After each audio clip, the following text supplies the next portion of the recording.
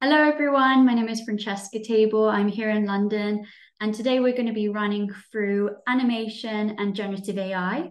So, what I'll be doing is I'll be running through some of the top tools that have been released over the past couple of years that have either AI or generative AI incorporated in those tools. So, if you're an animator, this is a great way to start to automate your, your processes um, or if you're completely new to animation, these tools are going to allow you to create animation without even having to study and learn um, all of the, the technical sides of animation. So, why would you want to know about animation? Why would you want to learn? So, animation is a great way of telling a story. It's a great way of pre visualizing a movie if you are directing a movie or you are creating videos um, and you need to storyboard something, you might want to first create a pre visualized animation to see that come to life. Um, or indeed, if you are in, say, music, you might want to create a cool music video. Or even if you're in sports, no matter what interest, industry you're in, personal branding and personal marketing is so important in today's age. And this can really help you develop your personal brand um, as well as telling a story of the brand or company that you represent or create a story in of itself, whether it's a film or a game or a metaverse. So without further ado, let's just dive in. So this is a bit of background on me. Um, so I really started off my career in the tech startup world, um, building out a social network like Facebook. I've worked with some incredible tech companies like Badoo, HelloFresh. Um, and then during the COVID 19 era, moved into the metaverse, games, and NFT space, learned about blockchain. And at that stage, I was really trying to help IPs across music, sports, and fashion to move into this space um, and explore these new 3D virtual worlds. Then I worked in motion capture, um, which links very closely to animation. And then earlier this year, I launched the very first Gen AI Con, which is a conference around generative AI. Um, and that was focused on the creative industries. And today's event is all about animation in particular. Um, and I have a number of different communities within the generative AI space, mainly on Discord. Um, so we've got communities, we do lots of events, we do lots of uh, generative AI competitions. So it's a great way of learning and then putting those learnings into practice. So you might recognize some of these tools. We've got Kaiber here. Um, we've got Stable Diffusion. Um, but some of these tools may be new to you. This isn't the uh, these aren't the only animation tools that exist on the market, but it's a good starting point. Um, and I'm going to try and create a logical flow for this to run through as many of these tools as possible. So let's start right at the beginning. And I think the beginning of animation is all around storytelling. And in order to tell a good story, you might have a couple of incredible storylines um, that you can start to work on. But if you've just got a seed of an idea and you need to elaborate more, you can either use a tool like ChatGPT to brainstorm um, ideas um, and help you evolve, or you can use a tool like StoryPath, which you can see an example of here, where you start with a premise and then you evolve the story. And then you can always backtrack if you think, okay, well, that seems a bit unrealistic. So in this example, we had, first of all, someone going for a picnic and then a UFO lands. Obviously, there are alternative storylines that could um, happen off the back of a picnic. Um, next, let's just dive into the world of images and video. Um, so the first technical term that's useful to understand is style transfer. So here is a fantastic example of style transfer. So you input an image or a video, um, and then you can essentially apply um, a style using computer vision to create an artistic render, whether it is um, a render which looks like a Picasso style painting or Van Gogh. Um, and style transfer is usually achieved using a type of neural network called convolutional neural network, CNN. So a CNN is trained on a large data set of images that can learn or recognize and extract features from images, such as edges, textures, or colors. So in order to create this output, say a Van Gogh style, you first of all need a data set of Van Gogh's paintings.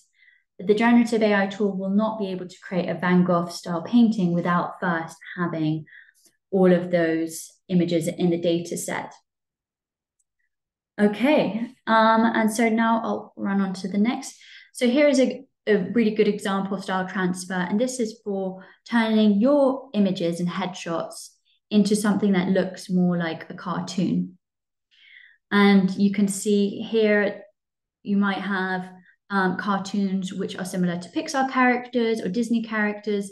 You'll see a lot of similarities with, you know, big eyes um, and similar facial features. One thing to be aware of, though, is that cartoons can take away some of our distinctive facial features. So you have to be also careful in terms of um, diversity and inclusion to not start to whiten your skin and completely change your facial features because that, that will um, have the wrong sort of impact in the end. Another technical term is image to image interpolation. So if I just bring up this diagram. So as you can see, we've got imagine a video is a set of different images. If you were to take out a couple of those images in between, you'd have a gap. So what image to image interpolation does is uses algorithms to find points and then decipher what is that the missing information here. Um, and a computer will therefore create um, what seems like the best bridge between those images. Um, so the primary goal of image-to-image interpolation is to create immediate images that represent a logical and smooth transition between two given images. This has application in animation, video editing, and even some advanced fields like medical imaging. So here are some examples where you can input images and then the tool will use image to image interpolation to create a video. So here's Genmo. And this style will be very much representative of the early days of generative AI, and I'm sure that we'll get far more advanced forms of image to image interpolation as time goes on. Another one is Kaiber.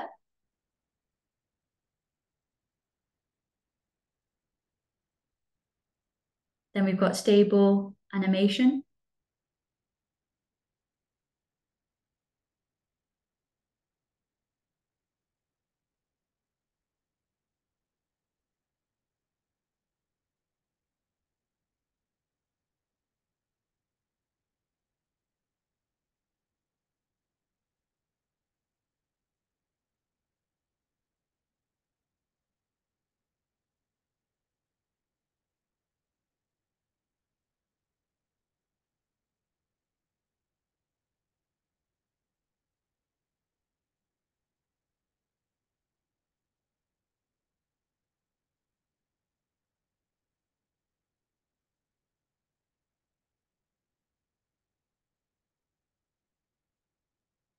Okay, um, next term is outpainting.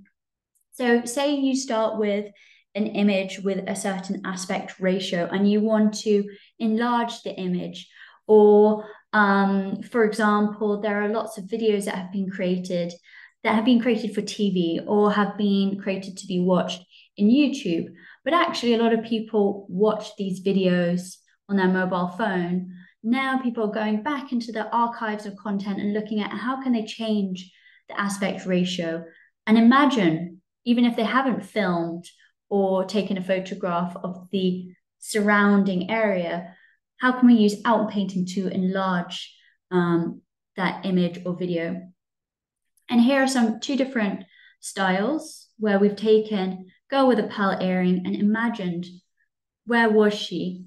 Um, so outpainting uses a pro several steps in the process. Um, so first it has scene analysis. So the model analyzes the existing context of the image to understand the scene's context. This involves recognizing objects, textures, and patterns in the original image. Then content generation. The model generates a new content for the areas outside of the original image. This involves predicting what the scene might look like beyond the existing boundaries based on analyzed content. So here is a good example of um, outpainting with CapCut, which is one of ByteDance's um, technologies and tools. So we've actually got several different um, video features. So we've got local editing, we've got video magic mix, and then we've got video outpainting at the end. So you can see part of the um, the image is cut out, and then we managed to have full body shot. So now let's have a little look at image to 3D. So the first term that is useful to get acquainted with is photogrammetry. Um, and on the left, you can see photogrammetry, which was probably done with a drone, and it's really useful for architects or civil engineers to then render out a building um, as a 3D object. Or you can go into uh, smaller objects like a sculpture, a chair, um, do a photogrammetry of that object to create a 3D render, which you can then bring into um, a animation tool like Blender or bring it into a game engine like Unity or Unreal Engine.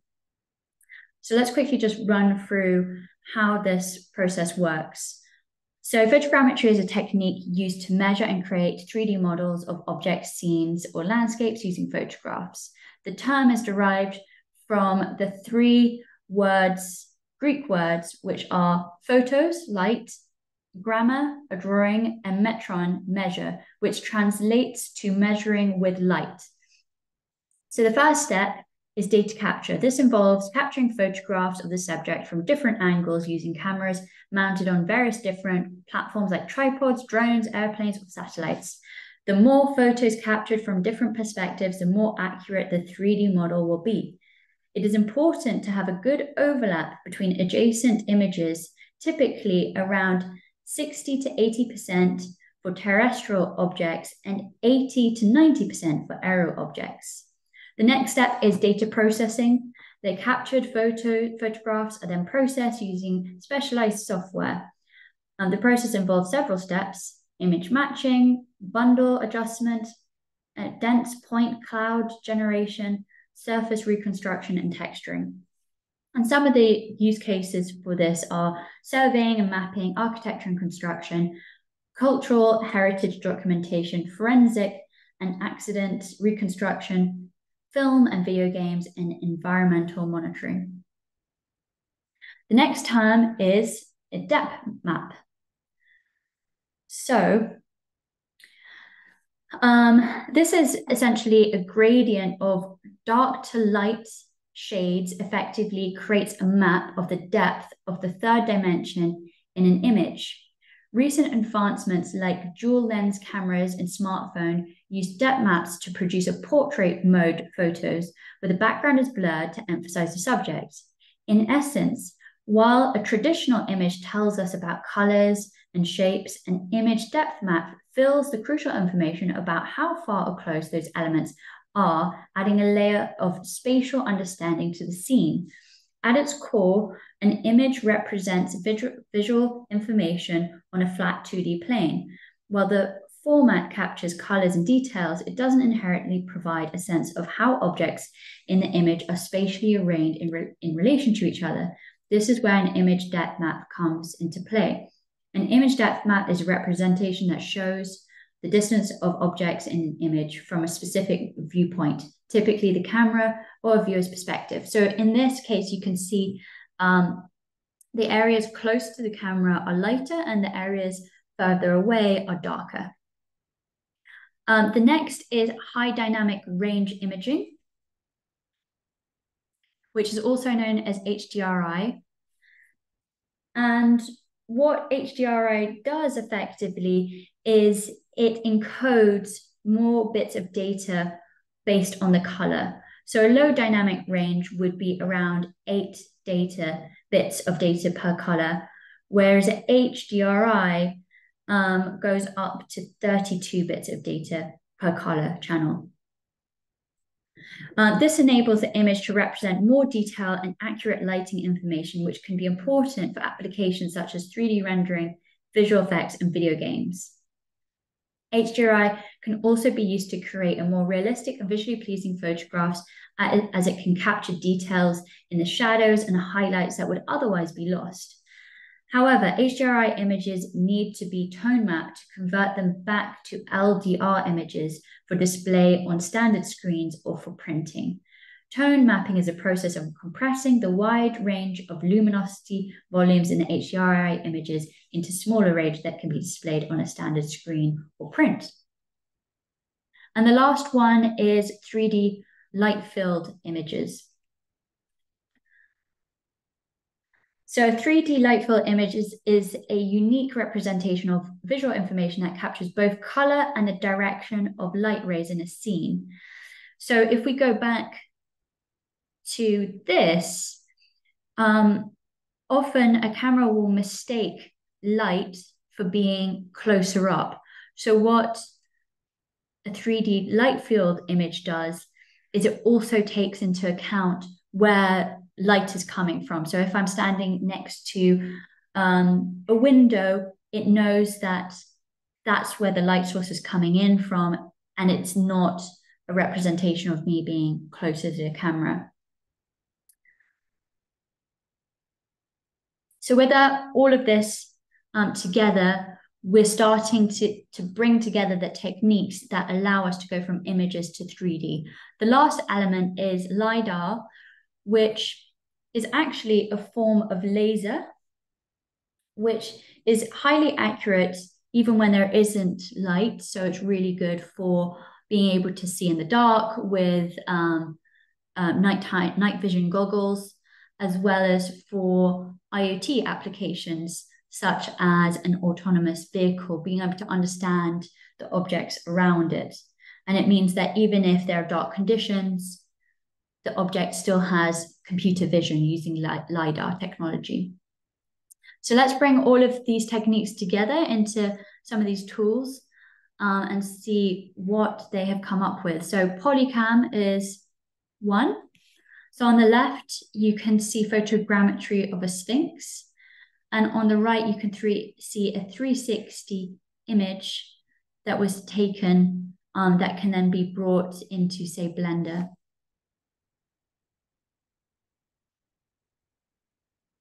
Next, we have Luma AI, which again has photogrammetry on the left of a park bench, and on the right, we've got a walkthrough of a real estate property. And then we've got Avaturn, which is photogrammetry, but of people, in order to then create a photorealistic avatar. So there are avatar companies such as Ready Player Me, um, but that you only input one image into, whereas Avaturn takes a multitude of different images as you scan your entire face and therefore creates a more realistic output.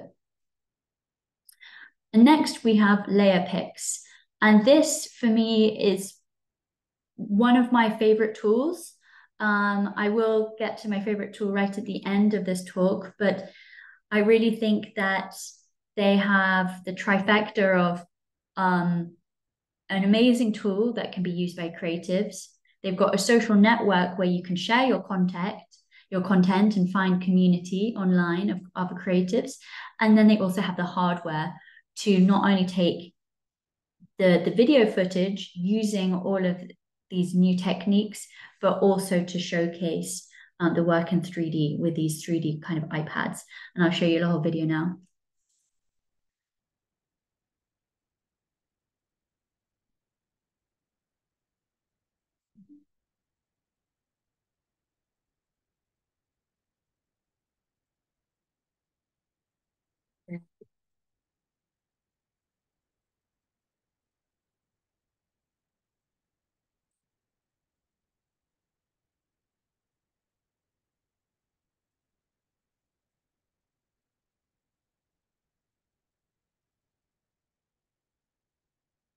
Mm-hmm.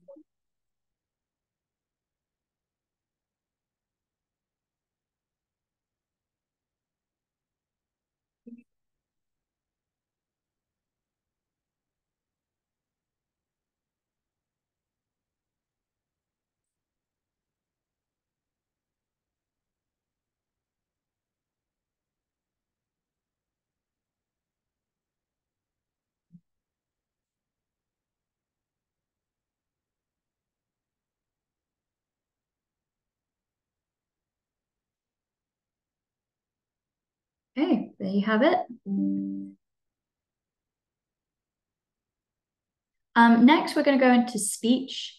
So if you have created an avatar, how do you get it to start moving its mouth and talking um, and becoming more of a sort of virtual assistant, uh, sales assistant, salesperson? Um, so here we go. Um, so the first term to run through is uh, speech to text, uh, text to speech synthesis. So here's a little workflow from the Google Cloud um, text to speech synthesis. Um, but there are multiple different workflows with Microsoft and other technology providers. So TTS synthesis is the process of converting written text into spoken speech. This is a technology is widely used in various applications such as assistive devices for visually impaired people, voice assistants, navigation systems, and many others. Here's how it generally works. So text processing, the input text is first processed and cleaned up. This involves removing or converting special characters, expanding abbreviations, and converting numbers and symbols into words. For example, DR might be expanded to doctor, and the, less, the number five might be converted to the word five. Then we've got phonetic transcription. The processed text is then converted into phonetic transcriptions, which are detailed representations of how the word should be pronounced. This may involve using a pronunciation dictionary or a machine learning model trained to convert text into phonemes, the smallest units of sound in a language. Then we've got prosody prediction. Prosody refers to the melody and rhythm of speech, including pitch, duration, intensity. The prosody uh, prediction model is used to estimate these parameters for the phonetic transcription. The model is trained on large dataset of speech with animated prosody information. And then we've got waveform generation. The phonetic transcriptions and prosody parameters are then used to generate the audio waveform. There are several different methods for waveform generation, but most modern TTS systems use a variant of the WaveNet vocoder, which is a deep generative model that generates audio waveforms one sample at a time. And here are some examples. So we've got D-ID, Hi, I'm Dan. We've got Synthesia. What does it mean to be human? Where is the line between person and machine? Or does the line even exist? We've got HeyGen. Meet HeyGen on Canva. Generate engaging talking video for your designs in minutes. All you need to do is log into Canva and click on the app to create with HeyGen. First, choose an AI avatar that suits your company style. Next, craft a script that tells your brand story. Then, pick a voice that brings your story to life. Finally, throw videos into your Canva designs. The Met. And then we've got Yepic. Welcome to Yepic Studio, where your imagination comes to life through the power of AI. We're thrilled to have you join our creative community, where turning text into captivating videos is just a few clicks away. Next, let's move into another aspect of animation, which is movement. Um, so movement or is usually done with motion capture. So computer vision is really important, again, to understand where objects are in relation to each other. And then pose estimation. This is really important for human motion. So what pose estimation does is it's a vision, it's a computer vision technique that involves determining the spatial positions of key points on an object, usually a person's body in an image or video. The, these key points represent specific uh, body joints such as elbows, knees, and wrists. The goal or pose estimation is to infer the pose or posture of the object accurately. Um, two main approaches to pose estimation are 2D pose estimation, um, and then we've got 3D pose estimation. 3D pose estimation is more complex and requires additional depth information, often achieved through multiple cameras or depth sensors. Machine learning and deep learning algorithms such as convolutional neural networks, CNNs, have significantly advanced the accuracy and robustness of pose estimation systems. These algorithms learn to recognize patterns in images and can predict key point positions even in complex poses or challenging conditions. So if someone's wearing tight fitting clothing, that's fairly easy um, to do pose estimation. But if someone's wearing baggy clothes, all in the same color, it is very challenging. Um, so here's an example of T 2D mocap. This is an open source project from Facebook Meta um, for animated drawings. And um, so essentially create animation starring your own drawn characters. This is an implementation of the algorithm described in the paper and method of automatically animating children's drawings of the human figure. Um, now you don't, this um, paper and this model can be used for other things apart from hand drawn drawings. It's being used for anime characters, it's been used for photographs of people. Um, but this is also a very fun application if you've got children. And then we've got 3D motion. So first we have DeepMotion. So they are building a motion intelligence platform for digital humans and virtual creatures powered by deep learning in the cloud. And here you can see full body tracking, face tracking, hand tracking, rotoscope pose editor, an AI markerless motion capture, requiring no suits and no hardware. And it's free to try.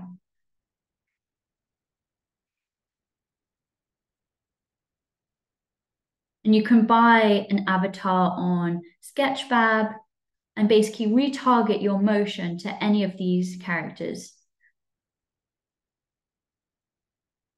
And what's great about motion capture is you have more authentic human motion.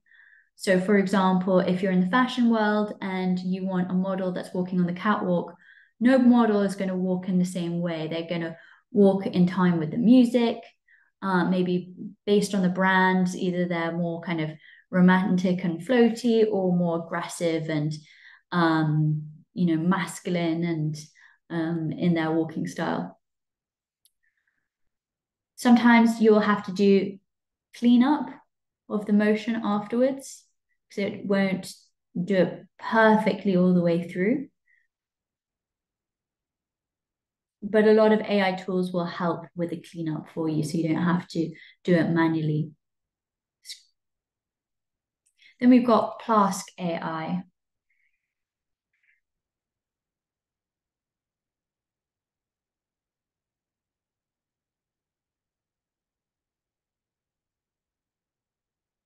Very similar motion capture system. And here's an example of using pose estimation to actually create a pose in a generated image.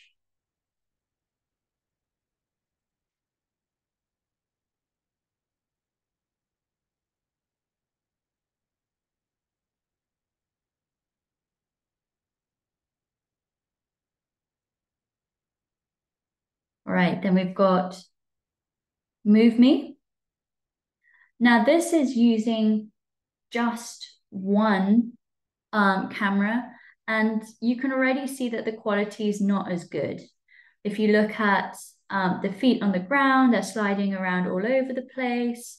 Sometimes they're hovering above the ground. Sometimes they'll be going through the ground. So to check the quality of your motion capture, it's great to look at the, the feet.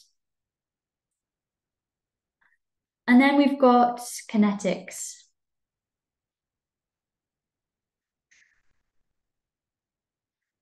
So this video is showing how once you've created all of these motions, you can turn them into emotes. So you can package up the, the motion and then distribute it to different games and metaverses for people to buy those motions because those motions can be really, really useful for gameplay. And if you're a dancer, for example, and you've got a unique dance move or a choreography, again, you can capture those movements and start to monetize that. And in order to facilitate this, Kinetix have an SDK um, that can be built into any of these metaverse or game platforms, and they've got an API as well. Now we move on to Cascadeur. Cascadeur is a standalone software for 3D keyframe animation of humanoid or other characters. So make they make it incredibly easy to to move things around manually.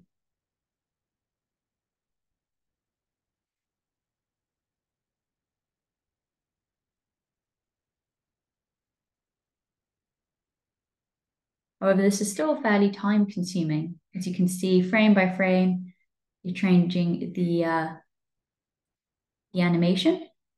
So this isn't motion capture, you're just doing it, creating your own motion. And then we've got Krikey AI, which again doesn't require motion capture. All you have to do is put a text prompt and then it will create the motion for you.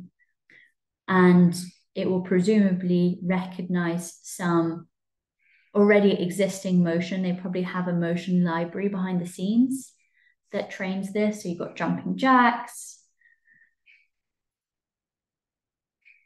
Um,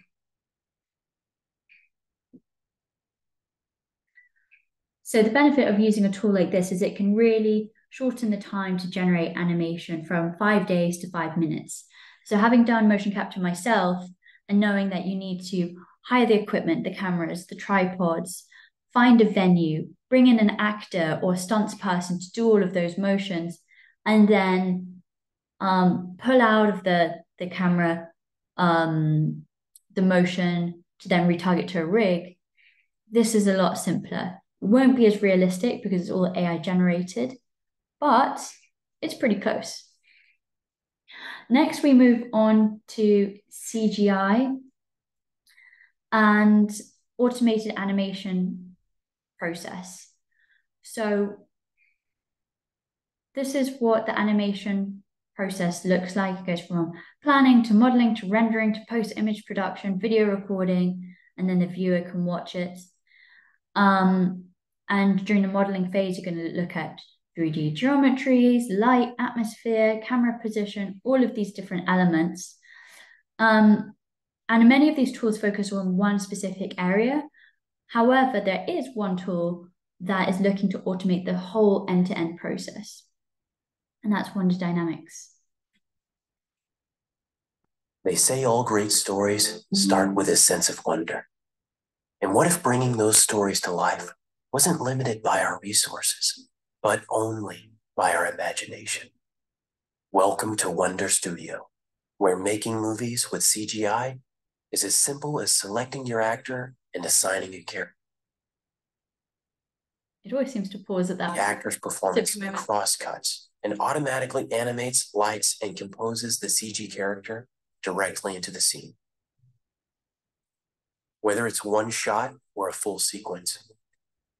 Pause there it's pretty impressive how you can bring in animation into essentially the, the real world. Um, next, we have environment. So we've discussed um, avatars. Um, so now looking at setting the scene for the story. So a game environment um, is basically the virtual surroundings in which a video game is played. It encompasses all the visual, auditory, and interactive elements that constitute the game world. This includes the landscape, buildings, objects, characters, weather, lighting, and sound. Um, the game environment is created by a team of designers, artists, and programmers who work together to create a virtual world that is immersive, visually appealing, and supports the gameplay mechanics. This process often involves creating 3D models, textures, animations, and sound effects, and programming the interactive elements of the environment. Creating a game environment is a complex and time consuming process, but is essential for creating engaging and immersive gaming experience. And of course, tools like Unity and Unreal Engine that create these game environments can then be used for creating animation and film, music videos, um, and, and whatever other animations you have in mind. So let's look at some generative AI tools. So we've got Skybox. See if we can play this.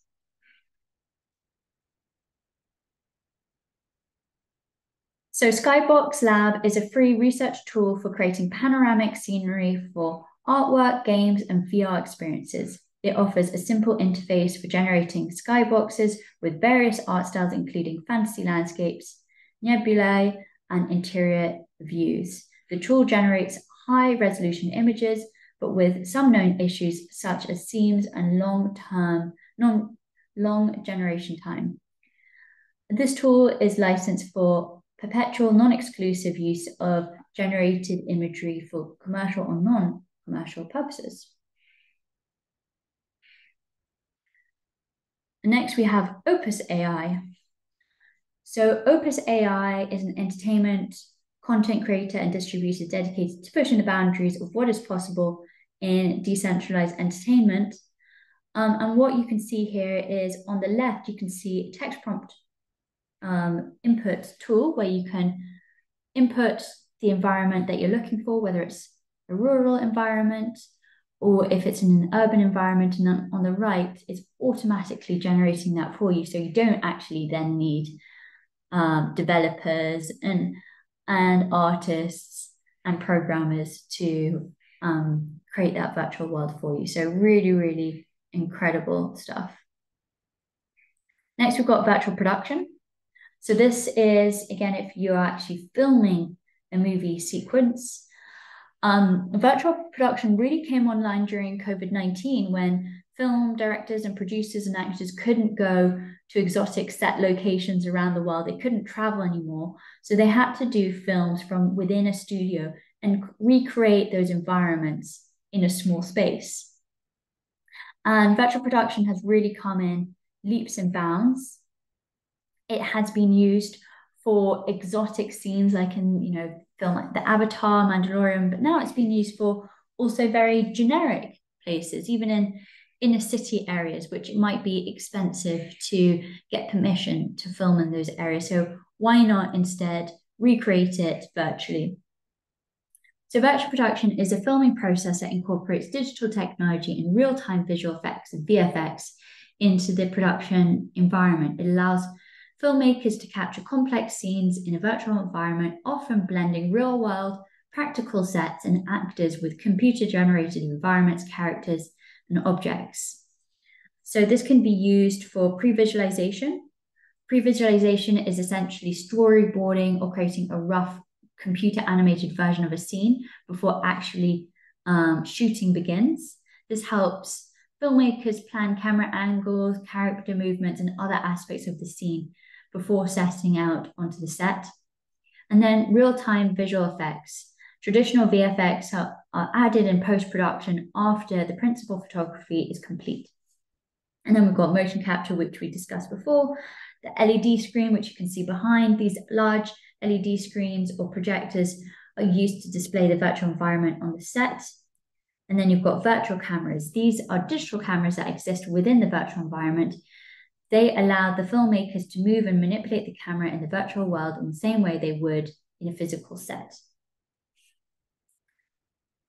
Uh, and now let's discuss multi-plane camera. So this was first invented by Walt Disney for allowing a sense of perspective of, say, you've got Mickey Mouse, which is out front, um, and then you've got the moon in the background.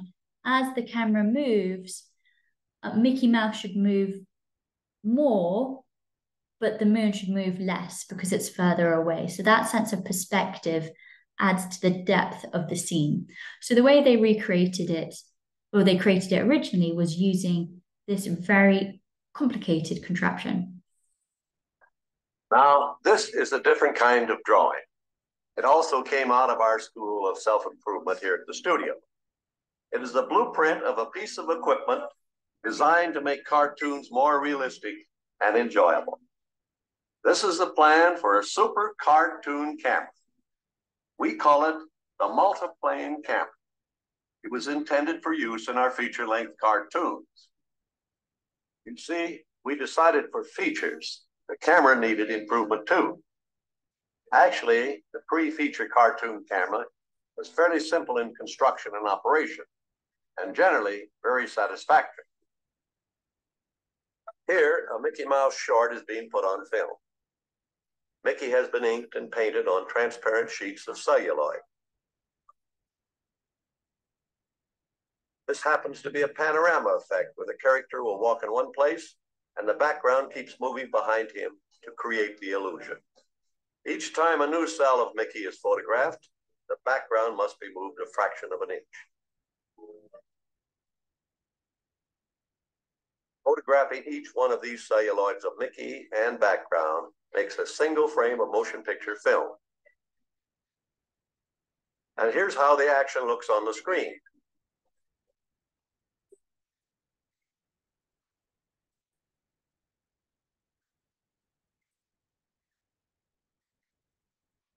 Now note that our character is capable of giving us a real feeling of three dimensions. He can move farther away and come closer.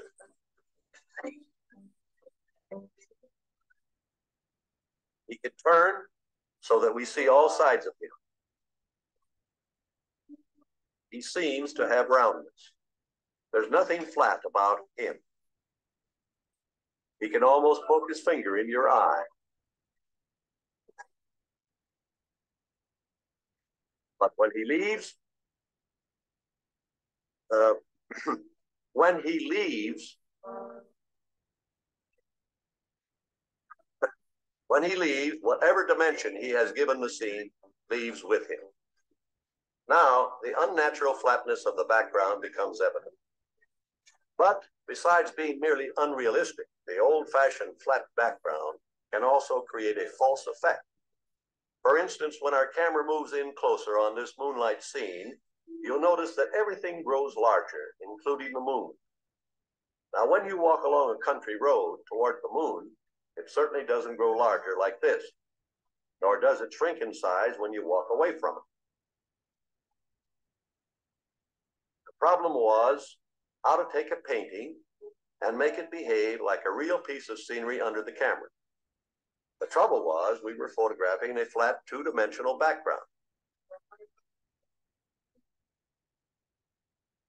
So we set about making plans and blueprints for a new cartoon camera that would overcome this.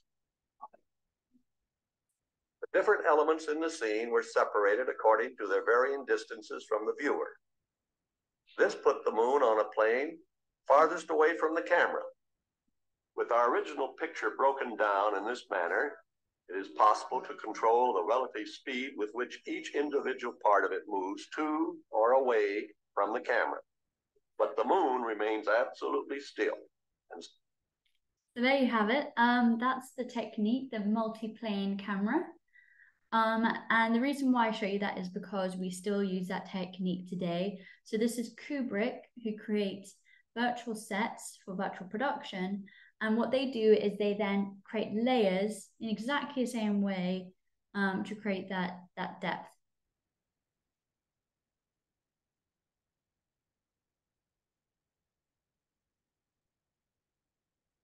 So these are environments that are created in stable diffusion, HDRI, so really, really large um, images. But as you can see there in front of you on the screen, they've created layers so that as the camera moves in that virtual production set, there's an element of um, three dimensionality.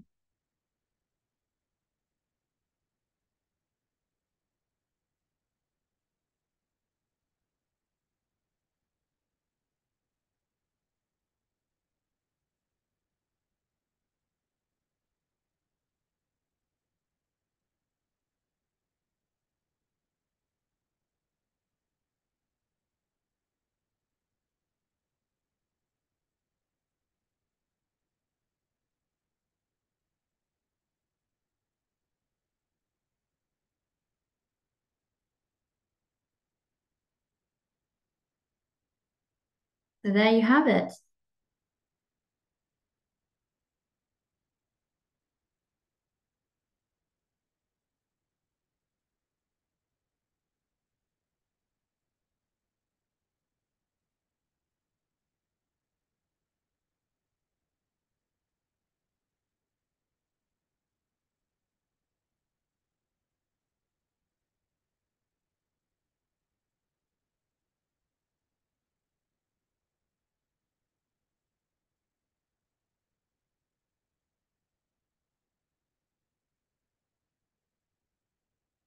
Wonderful.